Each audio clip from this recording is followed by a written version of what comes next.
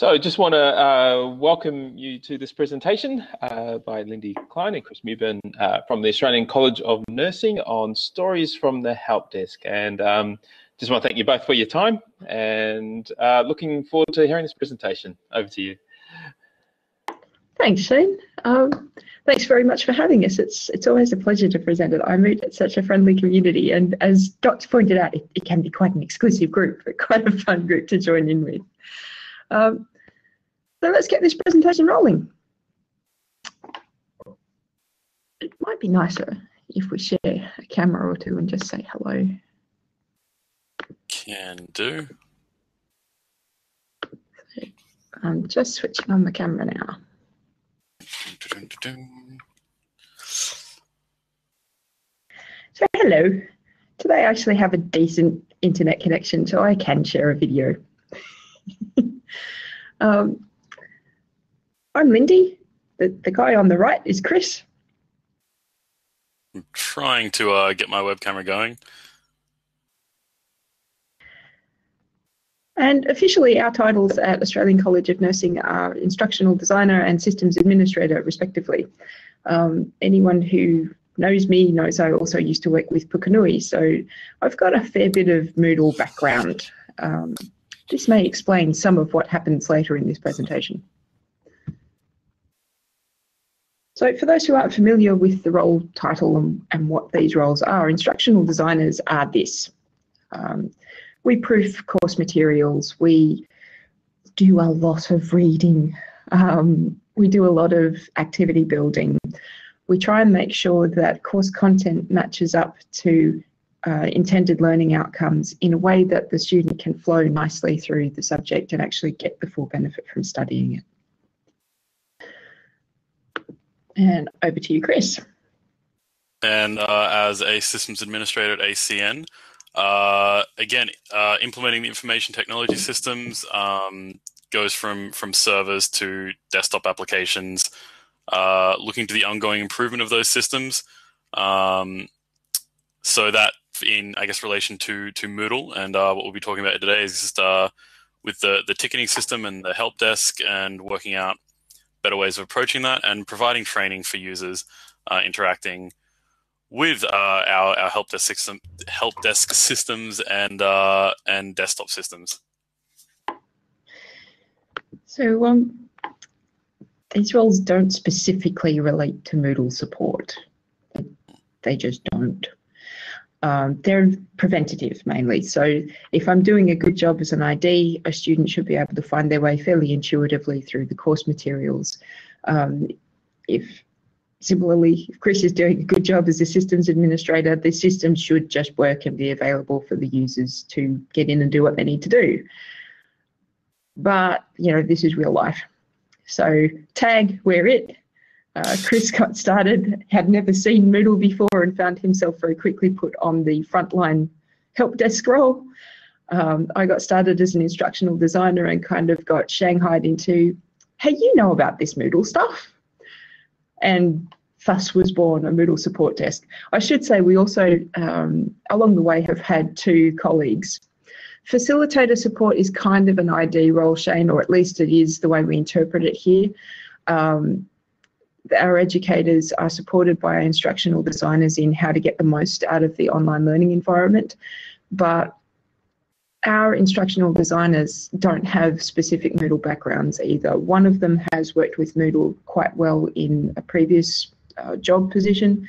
The other really hadn't had much Moodle experience before they started here. So that facilitator support is more in um, how do you design a generic type of activity rather than how do you get these Moodle settings to work the way you want them.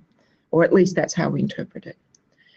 Um, we also have a couple of colleagues who help us with support desk. So my manager uh, provides some of that second and third level more technical support. Um, a colleague that was working with us and sadly left was providing some of that frontline help desk support. And of course, we've got reception and uh, student services who often take first calls, which we'll get to in just a moment. Um, I got asked this more when I was a consultant. Does Moodle need support? I'm kind of interested that we've got a couple of people in the room who, who can probably give a really good answer to this. So if you're about, jump in the chat. In your experience, does Moodle need support? Um, certainly in our experience, yes, it needs a lot of support. Um, more accurately, the students using it need a lot of support. They're often not that technologically confident, so they need a little bit of confidence boosting as they go along. Would you agree with that, Chris? Definitely. It's like uh, it's that oh, you know, you can lead a horse to water, but you you can't make it drink. Um, yeah. or or install Word. Um, so providing effective support then. Okay, so Dot, that, that kind of touches on what we're saying there is if your workforce or if your student base is more technologically confident, then they're probably not going to have so much of a problem with Moodle. Um, I'm, I'm glad that you're not finding it as challenging for providing support. um, Sorry, I'm just reading the question from Shane. Maybe it needs support as it currently stands, but leads on to the question, should Moodle, should Moodle require support for students? Should that be a goal for Moodle? Um, I'm going to talk more about that in just a moment, actually, because part of what helped us was an upgrade. So we're looking at providing effective support. Um, the kind of core tenets of this, define what you support and what you don't. Um, Chris, maybe you can comment on that. Uh, yeah, okay. Um, that would be for for a systems administrator such as myself. Um, it, it's the the line between when support for our system becomes support for their for their systems, and we can't provide support for for all students' configurations of of systems that they run, which we then have to direct them to seek uh, tech support from uh, their their private tech company. Um, what we do is is up to the line as if there's a problem that they're having interacting with our system, we can try and resolve that. But if it turns out it's a an issue on their end, again, we we tell them to seek seek advice elsewhere. Mm. so that can be a bit challenging. Uh, timely support can be challenging if you don't have good structures in place, and we're going to talk more about that in just a moment. I do tend to harp on it, so um, it's not directed at anybody, but don't promise timeframes for work if you're not the one doing it. Don't promise timeframes for someone else's workflow. Um, unfortunately, I've had the experience here of some of my educator colleagues promising students that things would be fixed, you know, by the end of today, by the end of the week. Um, they may have been completely unaware that I was actually on leave and couldn't look at any of it by the end of that day or the end of that week. so mm. do make sure that the person who's doing the work is the one who's promising how long it's going to take to get done. Um, uh, informed, on, that, I'd like uh, just yeah. add that phrases like as, as soon as possible, um, phrases, you know, like if if you follow the proper procedure, like it will expedite the the time frame. Like just uh, never give a defined, but do give a sense of it will Being be done responsive. As, responsive yeah. and, and, quick. Yeah. Yeah, good call, Chris. Um, informed support is making sure the people maintaining it know what the problem points are. So if you've got a really big gap between the systems administrator who's looking after Moodle and the help desk person who's answering the 200 odd calls about password reset, then the system administrator isn't going to pick up that we need a better way to do password reset. Um, in our particular circumstances, the person who could help facilitate the upgrade was the person answering some of those 200 odd password reset queries, so it quickly became a priority. um, we also talk about human support.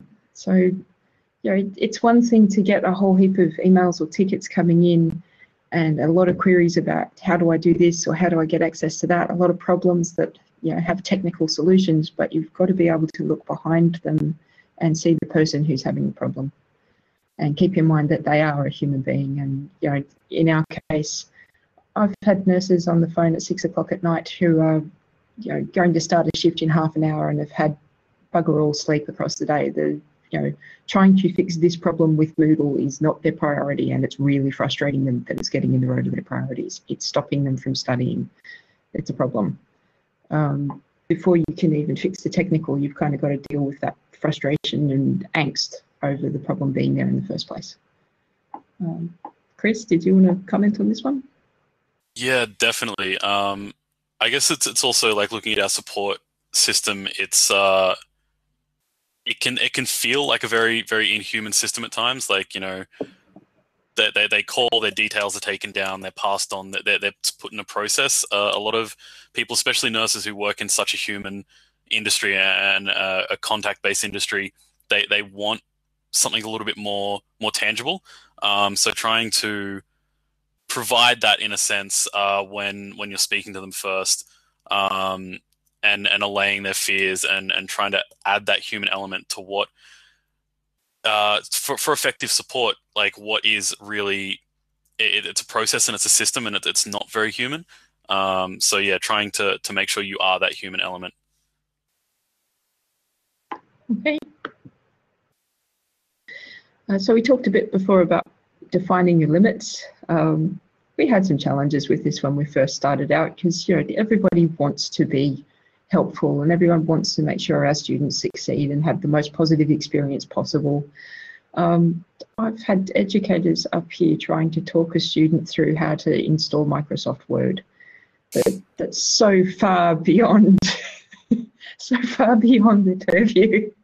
Um, yeah, Eek, Eek just about sums up how I responded. Actually, what are you doing? Um, so really, th- this kind of sums up how I try and reiterate that back to our staff. It, it's not the job of the mechanic to make sure they've got a license to drive the car. It's not our job um, as educators, as help desk support, as instructional designers, as system administrators to make sure the end student knows how to drive their computer it is our job to let them know what the minimum requirements are before they get into the course. So it's it's not appropriate to for them to find out um, halfway through trying to submit an assessment that they have to have it in a specific file format that they weren't made aware of before. So um, there was a bit of resistance to this, not naming any names. um, perhaps, perhaps the the breakthrough point was um, kind of reinforcing if we can't provide that support for every student that we service, then we shouldn't be providing it for just one student because that's unfair and it's inequitable. Two support people cannot provide that level of detailed support to roughly two and a half thousand active students at any given time. It doesn't work. Not at all. Thank you. It, it doesn't work. Something breaks. okay, so um, I've, I've touched on defining expectations. I'm sorry, Chris, I kind of jumped that slide. Did you have anything more to add on that one, or would you like to take it away with this one? Uh, just just on the last one really quickly. I guess uh, if if a student does come in with with an issue, which often happens because they haven't read through the uh, the course requirements. Um, they haven't read through the system requirements for for the course. Um, not just turning them away empty-handed and being like, "Look, it's not our problem." Like to to an extent, I go, "Look, I can't fix this for you, but what you should do is." Uh, look for this. So, like a lot of the times, they don't have Word installed, um, and they're they're trying to use uh, notes or, or, pages or something. Um, and we just go, look, what you need is Word. Uh, and then I say, I, I, can't tell you where to get that from, but I would recommend you know you you contact someone or you go and price it from a few places to ensure that you know you get a good deal. Um, you know, try and tell them what they need to do within the scope of your of your limits to resolve their their issue, so they become compliant with the system requirements.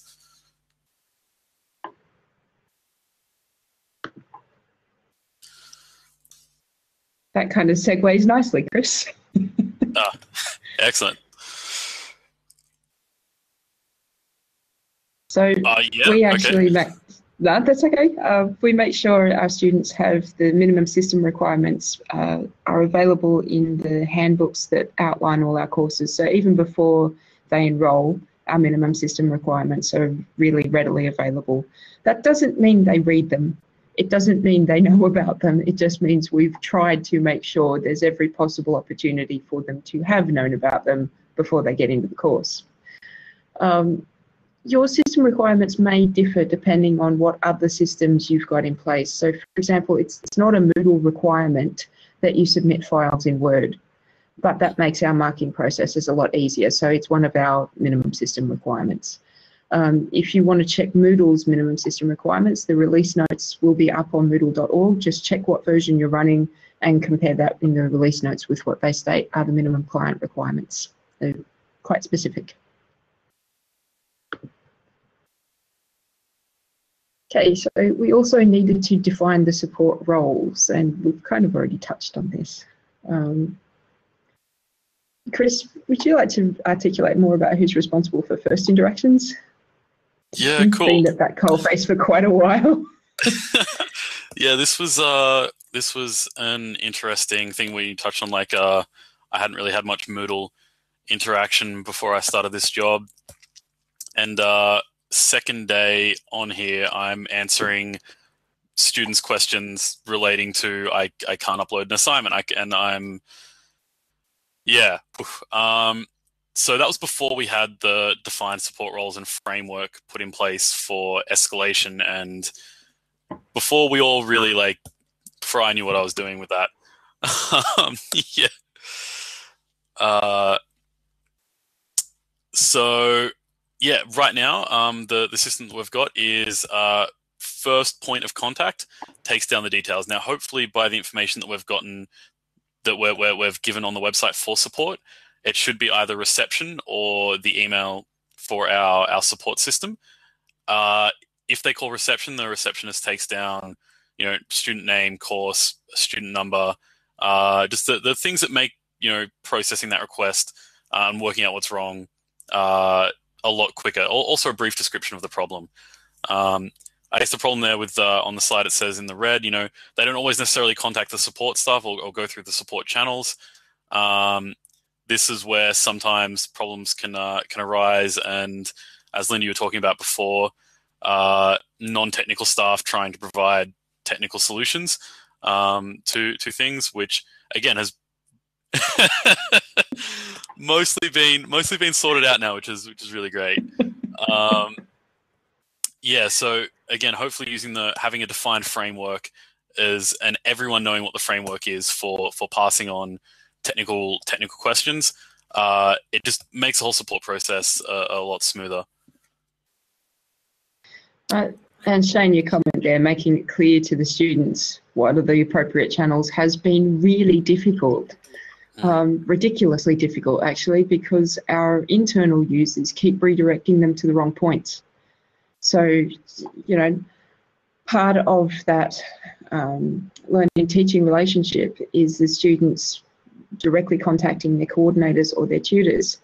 If those people then redirect a student to the wrong support space, that delays the student, it causes frustration for everyone. It, it really has been quite a challenge getting that support flow in place, um, which is why the XKCD um, flowchart is in there because it, it has, I'm sure, for both support staff and coordinators and students, it's felt like a trap. yeah. Um, so Chris has kind of touched on this already. Um, if we found the defining line was if it's trickier than a password reset, send it up. Um, and that became our kind of benchmark for the first couple of months while we were trying to get better support processes in place because that that gave our reception staff some breathing space to acknowledge no i don't have to fix this. I'm not responsible for this but i can put you onto someone who can help.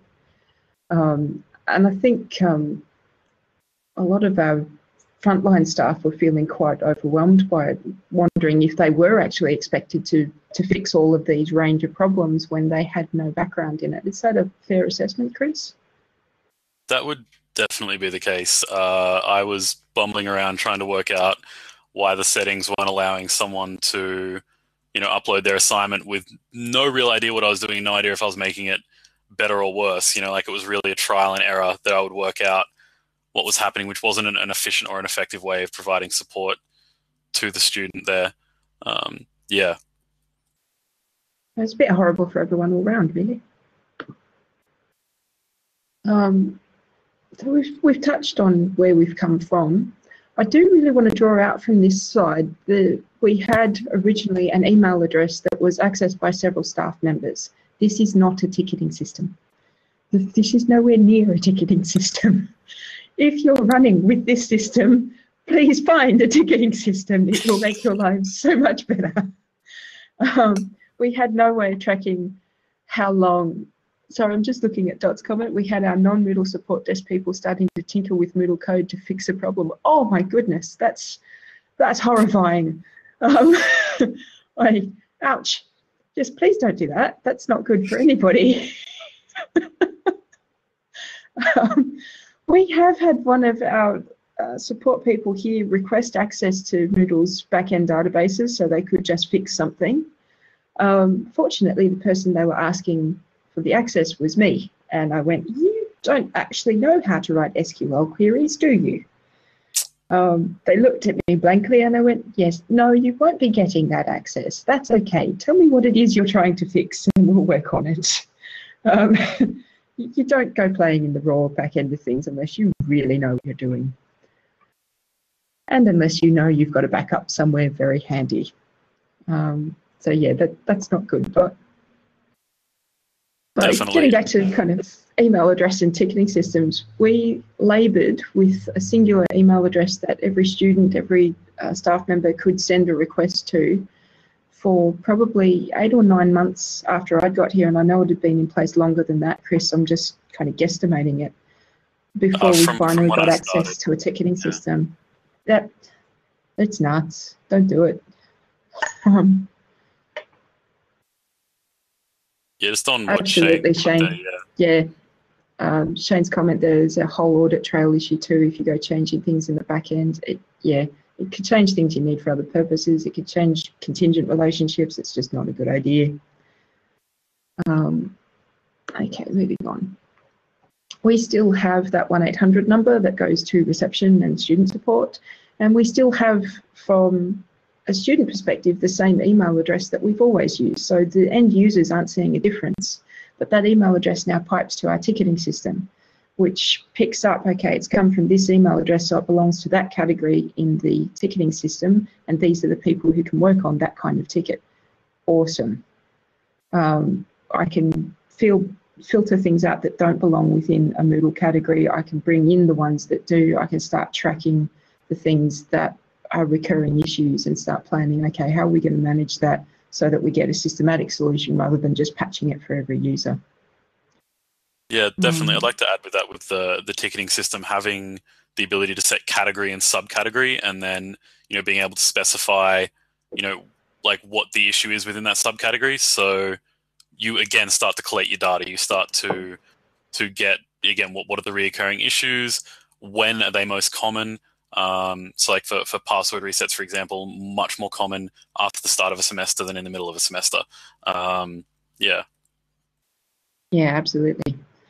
Um, and that that kind of you call them smells in code development. That kind of smell lets you know that there's a trend there that you maybe need to look at something else in your systems to prevent that issue coming up in the first place, which I'll come back to later on.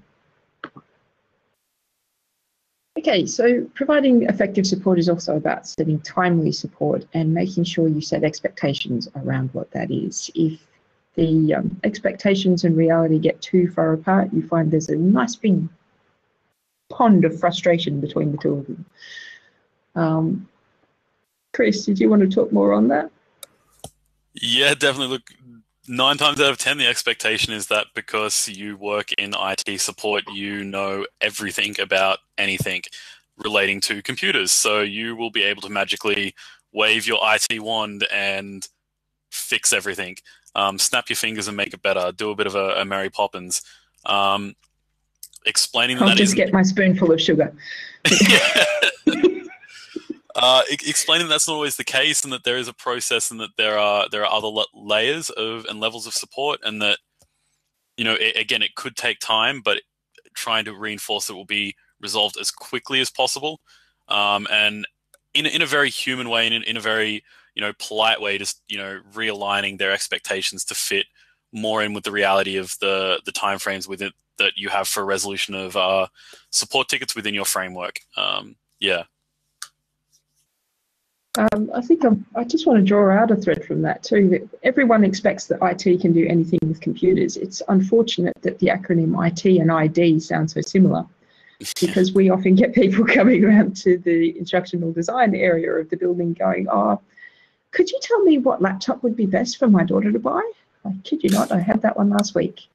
Um, that's that's lovely that they believe that we've got that kind of expertise to help, but it's really not our scope of things.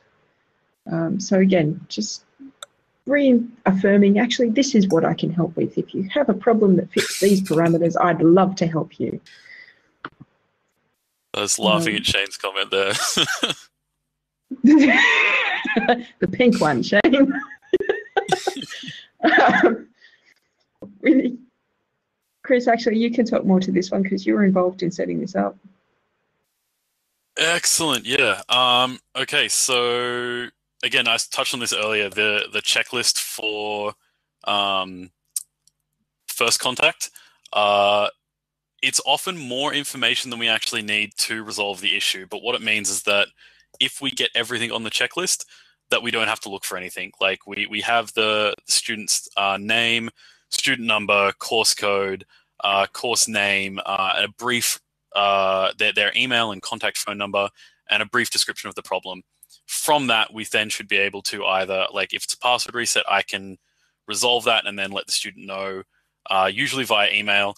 Uh, though sometimes again we're working with nurses who work you know shift work sometimes you need to give them a call because they only have access to their email at certain times of the day and they've requested that they they get a phone call because they want to access uh, their their online learning while they're at work you know uh, they might be working a night shift something like that um, so uh, I've, I've done that a few times um, but again if i need to pass it up and escalate it uh, all the information is there for the person who then is working on the escalation which is most likely lindy uh, to be able to resolve that uh, without you know digging and searching through databases to try and find the the rest of the information. Student management system. Uh, don't laugh. We use FileMaker Pro.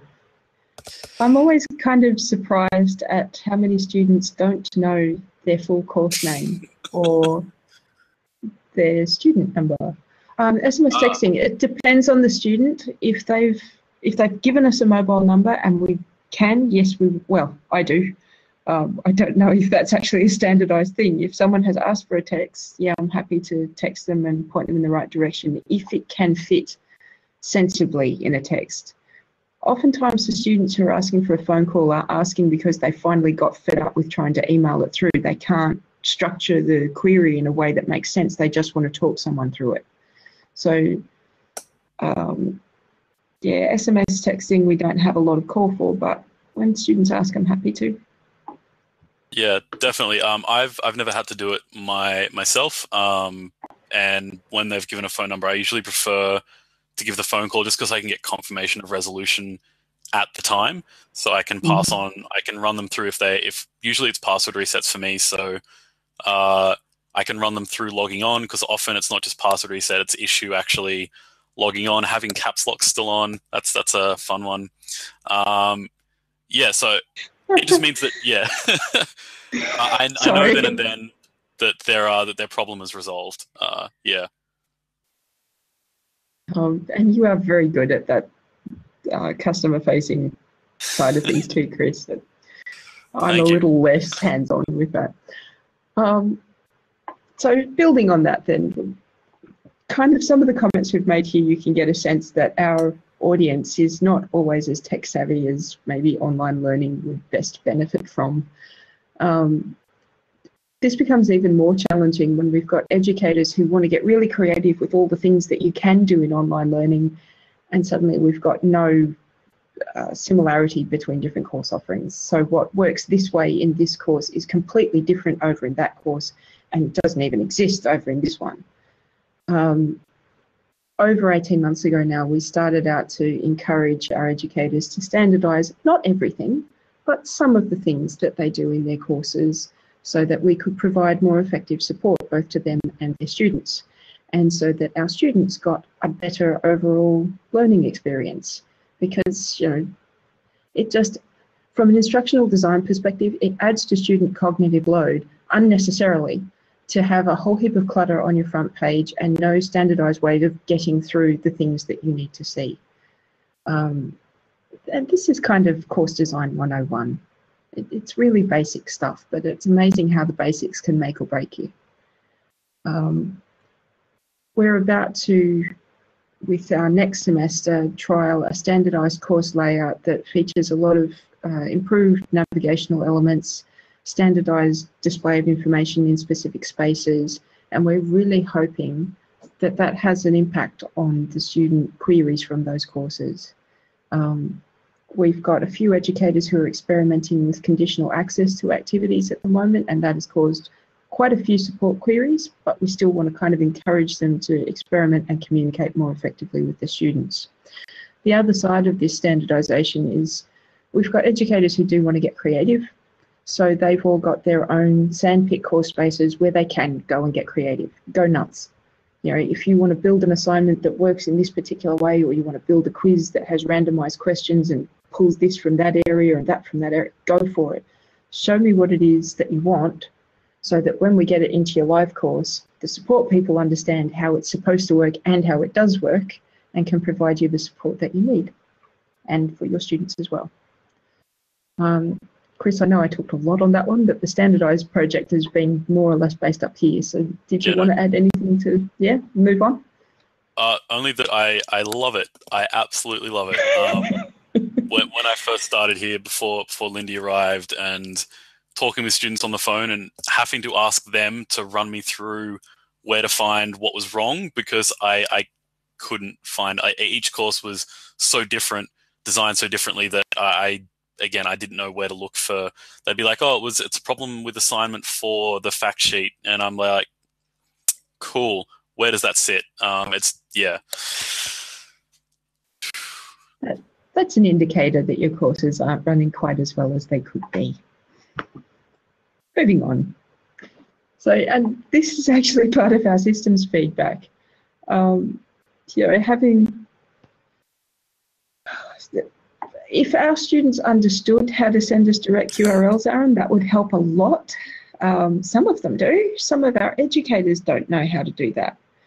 So we're, we're working with fairly challenging circumstances at times. Um, we do ask our reception staff to ask for the direct link if they can. If they can't get a direct link, can you send us a screenshot of what that page looks like? Can you send us the full screenshot? Because chances are the full screenshot has the URL, so we can get it from that. Um, but yeah, it, exactly. If you can get the direct URL, you know exactly what you're looking at. So Definitely. we do ask. We don't always get it sometimes it's easier to get the name of the assignment and work it out from that because the name is something that the students can readily identify. And um, unfortunately, a lot of the time, uh, yeah, exactly. A lot of the time, that the people that are uh, having these problems are the ones that are, what's a URL? Uh, and you're like, that's the www dot, and they're like, where's that? Is that Google? Um, I've I've had this conversation many many times. Um, and trying to direct them. Yeah. Uh, we nearly need a script for that conversation, actually. yeah.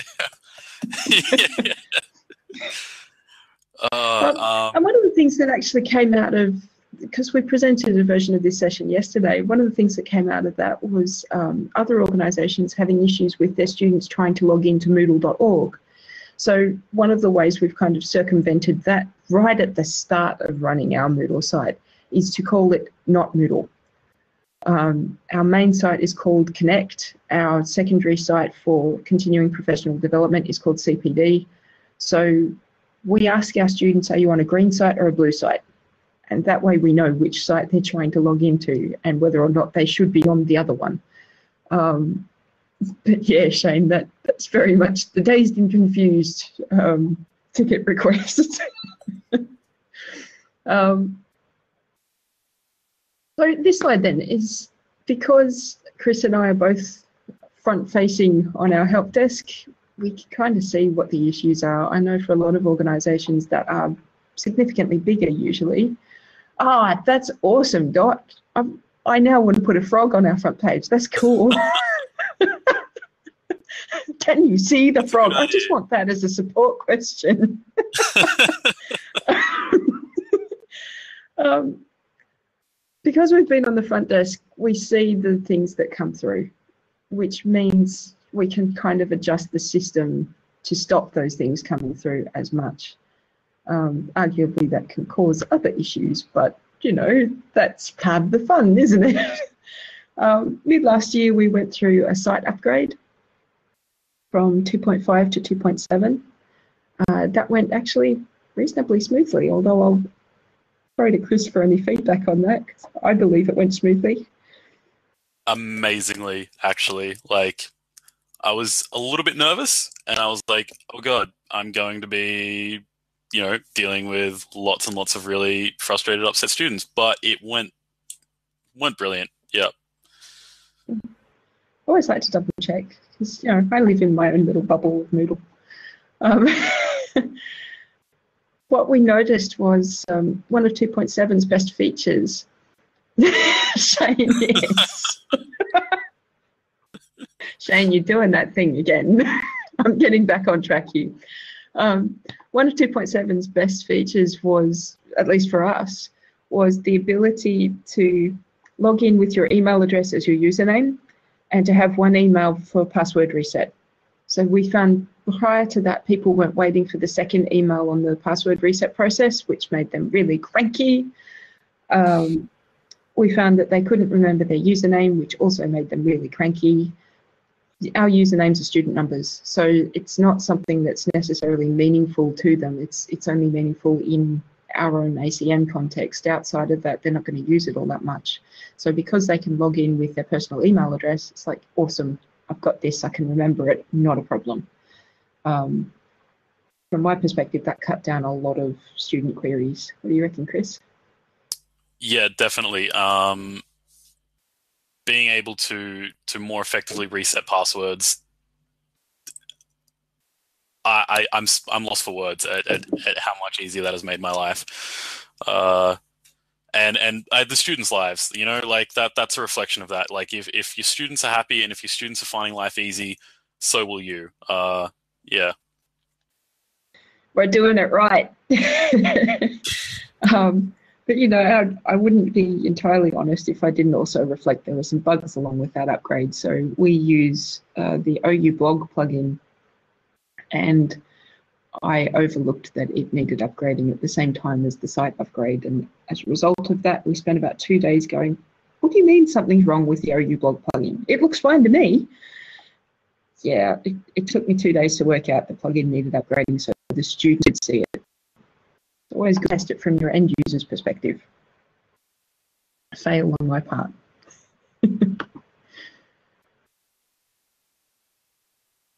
Chris, do you want to talk to this one? Excellent. Yeah. Um, okay, so this is uh, again our, our receptionists are really good at it, and nine times out of ten they're probably the ones that are that do that. Uh, I guess from from my perspective, when uh, I have to speak to someone, it's because they're uh, they're upset, and the person on reception feels like it's important for them to speak to someone who, to the student, will you know feel like they've got more of an authority to be like, yes, I can help you with your problem, even though I'm going to tell them exactly what they were told on reception. Um, often it just makes them feel more more relaxed, uh, more comfortable. Um, and it goes back to what we're talking at uh, before, which is just uh, working out, you know, what their expectation is. Often it's a fear. Um, often, you know, if they're having trouble uploading their assignment, it's uh, oh, oh, I've I've stuffed it up. I'm going to get zero for my assignment now. I don't know what to do.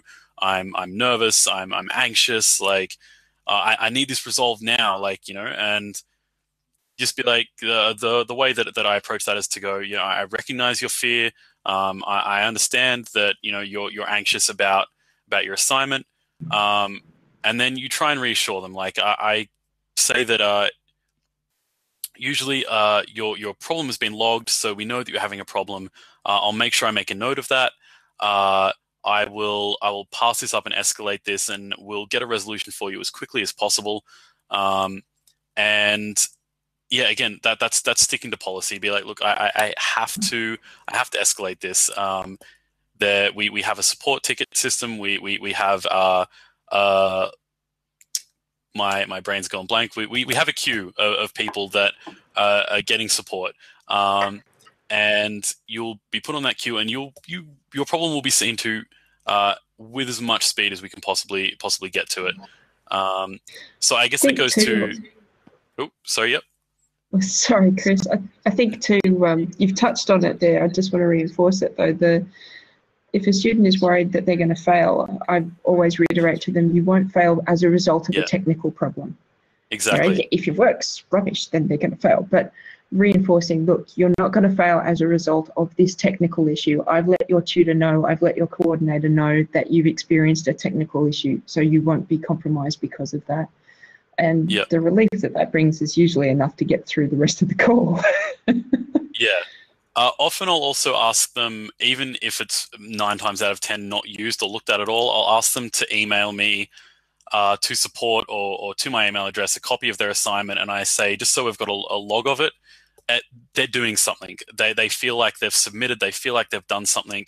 Um, not only that, but I guess uh, I don't know if it's actually ever been used. I've never followed that up, but the, the course coordinator can then go back and check it against uh, the the final copy that they do get submitted, um, because often people are calling up, you know, when their assignment's due in an hour. Um, yeah, which which is, which yeah. is interesting. none of us have ever done that as students ever. No, not at all. Uh, uh, I, I, I, never called I, up with uh, with five minutes to spare when I was at uni. What?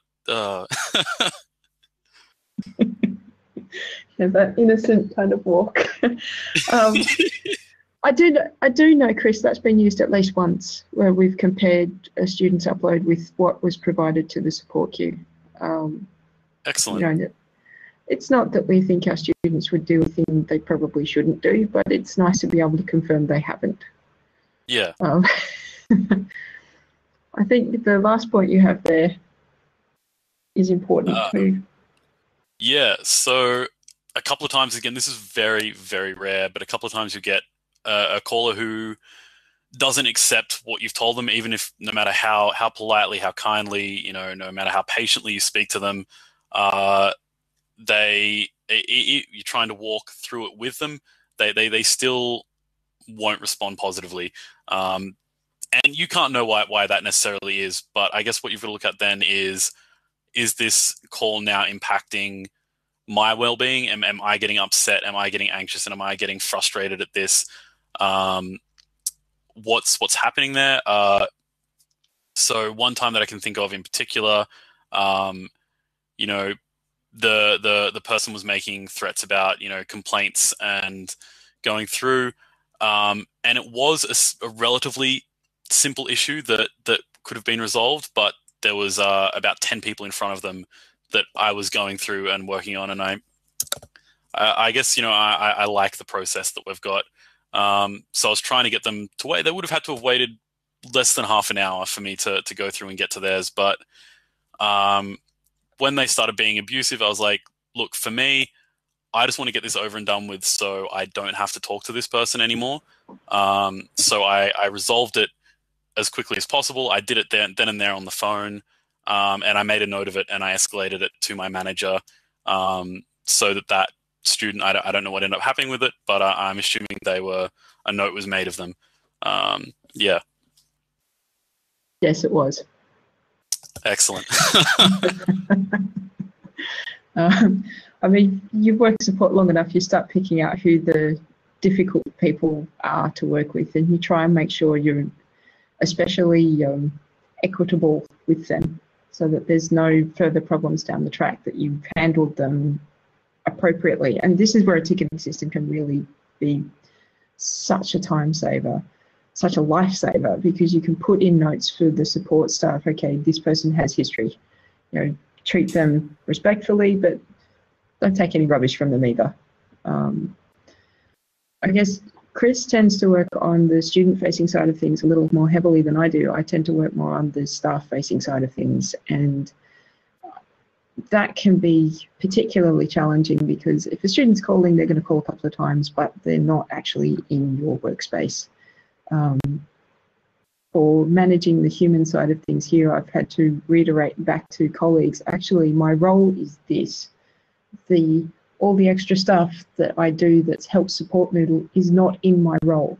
So the expectations you have of me to do this thing for you this minute are unrealistic. I'm happy to help you. These are the limits I have around it. And that has been extremely challenging. If anyone invents a magic bullet to deal with that, I will be the first one to buy it. Absolutely, Shane. Um, and constantly because it, it doesn't stick it, you know, similar to our students, our staff can also get very stressed out over, okay, I have to have this thing ready by yesterday, and you're the only one who can help me. Um, and often it is that situation that I am the only one who can help fix that particular technical thing that makes the rest of it work. So I try and be mindful of what problems have the biggest impact across the organisation as a whole and attend to them as quickly as possible so that everyone's stress levels are reduced as much as possible. It's not easy. Um, you good to move on, Chris? Uh, I am. Excellent. Okay. We've already done that. um, so I, I guess this would be the Q&A period then, because we've we've got quite a few stories from Help Desk and we've kind of shared some of them and hopefully some of the lessons we've learned along the way. Be kind to yourself, be kind to others as you work with them. Um, set your expectations nice and clearly so that everyone knows what's expected and how realistic that is. Make sure mm. you do it in a timely fashion. Um, make sure your support is defined so that, again, your expectations aren't being stretched constantly. What would you add to that, Chris? Uh, I would say, yeah, everything that you've just touched on, um, and and from from my perspective too, uh, it, it's it's great. The system that we've got means that I can trust escalation. Like a couple of times, I was like, I don't know what happened with that, but I knew it was dealt with and resolved appropriately. Um, I didn't have to chase it up. I didn't feel the need to to go and be like, oh, you know, what what, what happened with that? And and that certainty, my assuredness, comes through in the way that, that, that I talk to the students and the the confidence with which you know I, I speak to the students before we had this system set up and before Lindy came on board. Uh, the language that I used was a lot different. Like I I wouldn't use language like it would be resolved as soon as possible. Um, yeah, definitely. Um, I would I would say uh, I'll pass this up and and hopefully it will get resolved. Uh, you know soon. I, I that my language was more hesitant because I didn't want to get students' hopes up. Um, now I'm I'm confident to say, look, you know, yeah, this will get done as soon as possible. Uh, thank you for your information. Like uh, providing that extra information means that we can uh, process this quest, this support request uh, with a higher level of expediency, and we'll get back to you when we have a resolution. Um, and then I'm happy to uh, you know flick that up to uh, Lindy or Lindy's manager, um, and you know I, I know that it's in very safe hands. And yeah, that trust between the members of the support team has made a huge difference because we don't have to go and double check each other's work and that was happening initially that mm. you know we were making sure our procedures are consistent that we're giving the same kind of answers to the same kind of questions these days we know each other and our systems well enough to go no this is the way that works um, which is really fantastic. very grateful to have that. Yeah, I'm very grateful to be at that point now. Um, we get to upset the apple cart again uh, with an upgrade to Moodle 2.8 or t- hopefully 2.9 uh, at the end of this year, maybe even 2.10. Practical fun, question: fun. What sort of ratio? Ah, we have about two and a half thousand active students at any given time. We have um, the number of support staff is difficult to quantify. the number of dedicated staff in our ticketing system for Moodle queries is three at the moment. Um, but you've got to kind of sort of include our reception staff, which is two to three, um, our student services staff, which is three, and of course our educators that provide some of that support for students as well.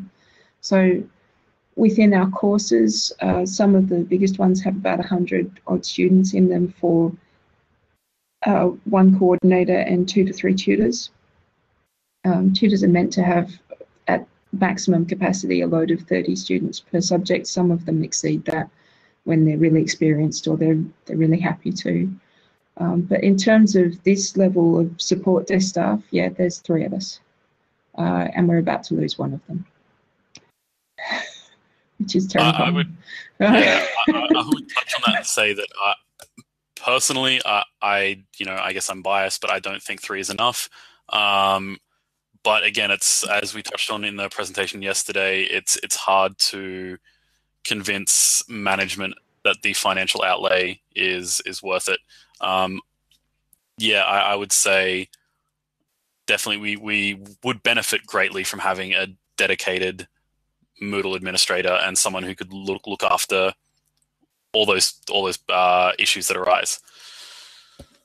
That's an ongoing conversation here, and yeah. I know it's a challenge for a lot of a lot of those um, small to medium organisations because they're all kind of just under the size where you justify having that kind of staff really easily. So a university easily justifies having a systems administrator for their learning system. It, it's almost a no-brainer. Um, in fact, they tend to have teams of them. But smaller uh, RTOs, uh, the college is, is very runs very high quality courses, but we're in a very niche area. So it's a challenge finding the balance. And yes, Shane, I I do. I remember very clearly. Um, so yeah, we're hopeful that our executives will see the benefit in having an LMS administrator. Certainly that discussion is ongoing at the moment. Um, in the interim, because we have the skills, we're the ones doing the work. Um, and I think a lot of people, certainly in yesterday's presentation, resonated with that too. It might not be your official title, but you know that's your skill set, that's what you do. Um, the challenges that come along with that are not having the authority to make the decisions that you know would help improve the system. So um, Chris, when before I started, Chris could see the password reset was a huge issue. He didn't have any authority to do anything about it. Um, the people who had that level of access on the system weren't the ones answering the support queries. So they weren't really seeing that it was a huge issue. It's like, it's a password reset. You do two clicks and you're done. Um, yeah. You know, they really trivialized that issue, didn't they? Um, they, they, they, did. And the amount of times before you arrived, Lindy, there was there was probably two or three times when we had an official, you know, escalation. Like I, I tried to officially get something done through the process, and it just it just got lost in the, uh, you know, escalation. Yeah. Yeah. So um, uh, yeah, Shane, I I remember that lesson as well. we Unfortunately, it's very easy to give responsibility. It can be a lot harder to give authority because the political side of that can be quite problematic. Um, so at the moment, we sit with the responsibility but none of the authority. And by the merciful heavens, I have um, a manager who has the authority and understands the responsibility. Um, so generally, if I say, look, we need to move in this direction with it, it's not a problem those kind of working relationships are invaluable. Mm. Um, yeah. And, you know, authority without any kind of responsibility over it can be quite reckless and problematic as well, Shane. So you need both in the same person. It really does help. Yeah. or, fuel, or fuels the ones you already have, Shane. um, so at the moment, we're lucky uh, the skill sets within our educators are they're gradually building up their confidence. The standardization means they don't have to do outside their comfort zone so much. So that's improving things bit by bit. And I'm aware we're kind of up to time, so I, I'm quite happy to keep talking. But if people got questions, by all means, throw them in. Happy to answer. Or comments. Comments are good.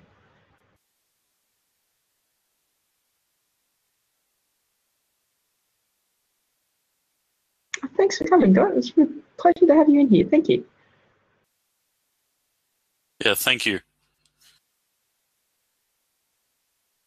Hey guys, I'll quickly jump in and just uh, say thank you on behalf of the whole iMoot team. Thank you for giving up your time um, again for the second session and um, really appreciate it. And it's been a really great presentation. Thank you. Thanks very much for having us. Hope it helps. Um, I'm going to clear out. See you guys later. Yeah. Bye. Thank you.